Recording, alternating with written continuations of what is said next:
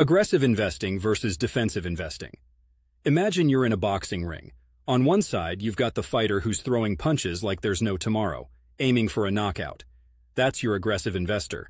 On the other side, you've got the boxer who's meticulously guarding, bobbing, and weaving, looking to win by not losing. Meet the defensive investor. Aggressive investing is like chasing the wind during a storm.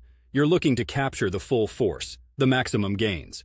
You'll be investing in high-growth companies, startups, maybe some tech firms with names that sound like they were born in a Silicon Valley garage. High risk, high reward. Stock picking is often a favorite activity here, and the glass is more than half full.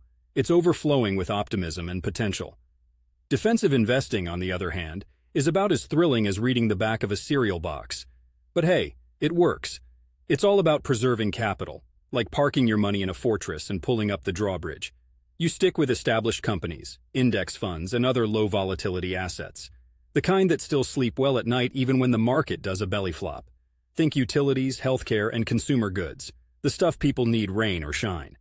From my home base in Portland, Oregon, I've seen both types of investors.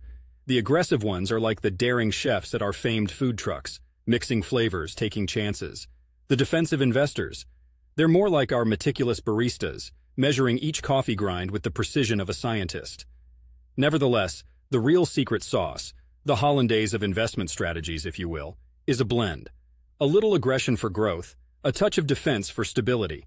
Because let's face it, when the economic weather changes, and boy does it love to throw us curveballs, you'll want to have a balanced diet to keep your financial health in check. No one strategy is better than the other. It's about what suits your palate, or in this case, your portfolio, and your sleep at night comfort level. Remember, whether you're swinging for the fences or playing it safe, make it a strategy that lets you enjoy the journey. After all, isn't life supposed to be a little fun, even when we're talking about investing? So pick your fighter, or better yet, train to fight both ways.